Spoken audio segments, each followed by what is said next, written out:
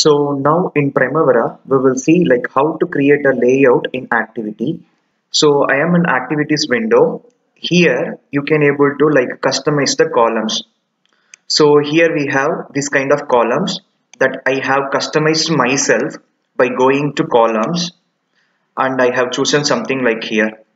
Okay. So we can able to go for customizing the column by going to columns and after here you can able to find everything for example if you want a financial period values you can able to go from here and you can able to choose everything. So I'm just going for earned value where we can able to have this kind of things. Okay. So if you want to do any modification in this column you can able to do it. Uh, and later you can able to go for saving as a template. Or we can call it as layout so I'm just clicking default. This is what default looks like. But in general we also have many things. For example we also have calendar and critical. So duration type estimated weight. So we have added some columns to the like layout. And now I'm just going to click apply now after clicking apply, we can able to see all those uh, new columns also here. See now calendar also available, critical, duration type, estimation, weight, everything. So now we can able to like save this layout. So for that you can just go to layout and then save.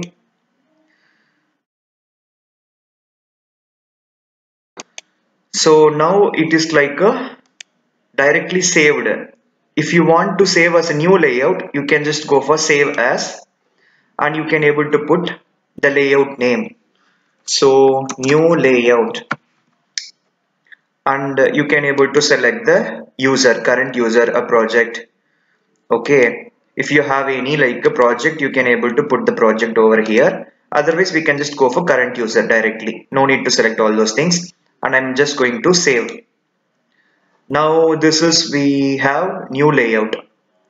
Now if you want to just go back to the uh, layouts you can just go for layout and then open. In open you will be having global layouts and also you will be having admin layout. So admin layout this is what I have created now new layout. But so by default it will be having classic schedule layout. So I'm just opening classic schedule layout and uh, where we have saved all those things actually. So it should be like a default. If you want like default columns then right click you can just go for column and you can just click default. When you click default so all the unwanted columns will go away. Default columns only will be there. Now I'm just going to click OK. See after these columns we can't able to see here. Now I'm just going to save it. So so just go to layout and then you just click save. This is like control s directly. If you want to save in a new layout name then you need to go for layout. Layout save as.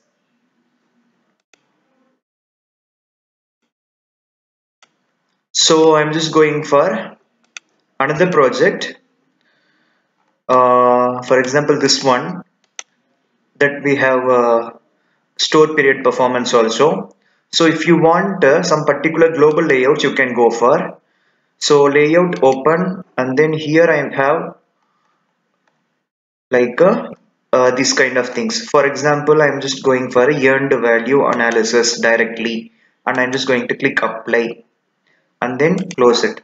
Now we are in earned value analysis layout where we will be having original duration uh, baseline uh, labor unit budgeted unit actual unit, a completion unit, and everything related to the earned value management.